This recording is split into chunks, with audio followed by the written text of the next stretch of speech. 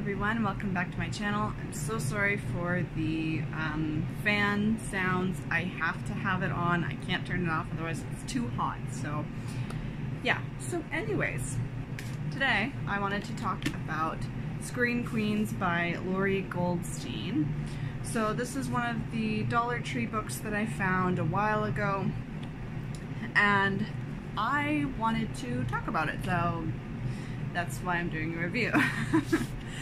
um, but this book, I was concerned about at first because I was I was worried that there was going to be a lot of petty drama because it's about um, these girls, Lucy, Maddie, and Delia, I think, or I, I, that's how I pronounce her name, anyways.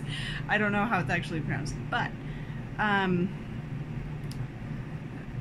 they're um, these girls are all in this competition um, for uh, a company called Valley Start. I don't I don't know if that's an actual thing or not. Apparently the um, what's it called?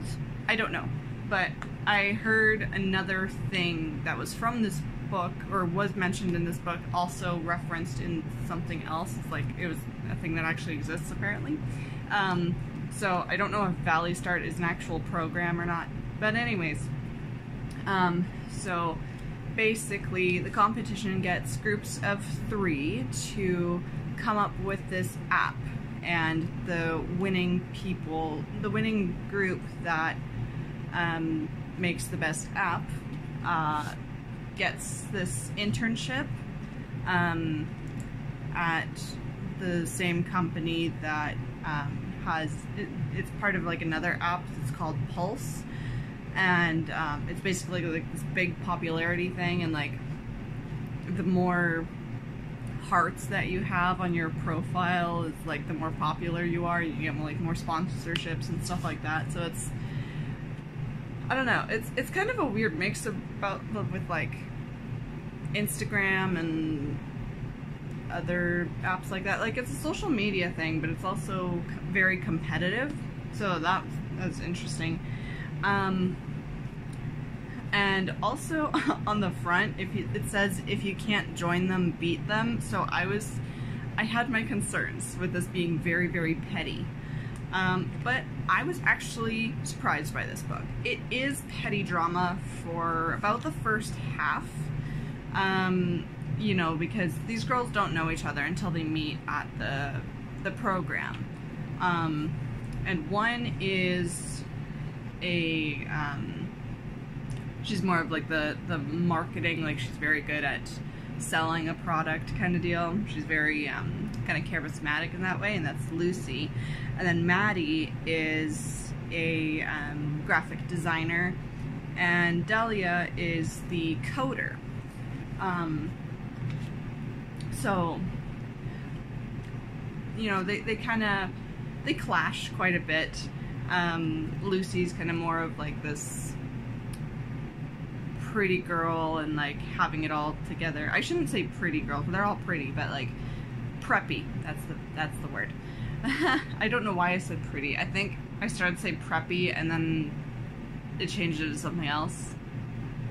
I don't know. Anyways, forgive me. Um and then yeah, they're they're all kind of very different from each other and so, you know, there's a lot of clashing there. But this book actually really surprised me. It and I keep saying that. Now I'll explain why. Um, after beating around the bush for so long. It surprised me because it actually brings up topics around um, sexual assault. So it does have that in here, so please be aware of that. Um, what chapter was that in? So the um, the scene with sexual assault is in chapter 19. Um, and it happens, I think, kind of around the middle of the chapter. Um, and there are some things about the character who does it that kind of make you feel like, okay, this dude's kind of sketch. Um, but it did still take me by surprise. I wasn't expecting that. Um, and if you want to get technical, you can throw in kidnapping. Um, she gets away real quick.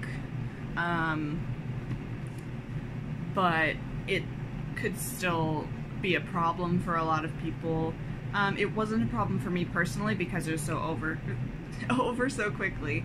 Um, but for a lot of people, that is a very sensitive thing, especially when you're going into a book like this where you don't fully expect it. Um, but afterwards, it brought up a really, a, lot of really good points on um, the complications of reporting something like that because the the guy who does it he is in a position of power. So it's um it's hard to kind of gauge that a lot of the times as women. So um it brought up a lot of good conversations about that and why a lot of women don't report it and why a lot of women do and the kind of flip-flop that kind of goes on in our heads um, because of it. Because it's like, well, we sh I should do it, but I shouldn't because this, that, and the other thing, and you know, it gets really complicated. And I think this book did a really good job of doing that um, and exploring that. But the one thing that I didn't like about that is that it wasn't it wasn't used as the climax of the book, which was nice. Um, I'm glad the author didn't do that, but um, it did kind of use it as I think it's called the inciting incident, um, where it kind of like really kicks the plot into gear. Um, and so like it advances the plot, which is it, it's a good use of something like that being listed in a, being like written in a book because it's not just for shock value, which is so nice.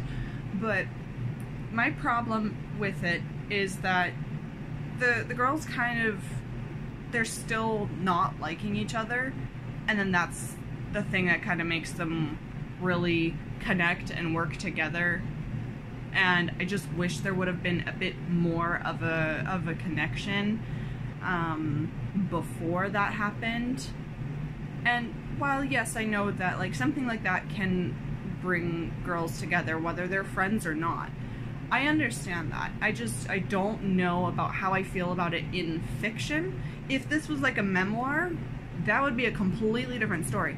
But when it's in fiction, I don't necessarily like stuff like that because it's, I, I feel like it kind of encourages this idea that something like that kind of puts all other conflict aside, which, again, in some circumstances it does, but I don't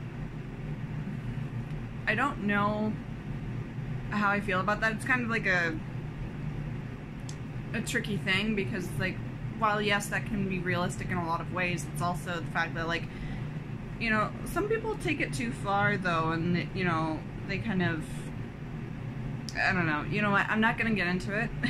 I was gonna, and then I realized I can't word it properly, so I'm not going to.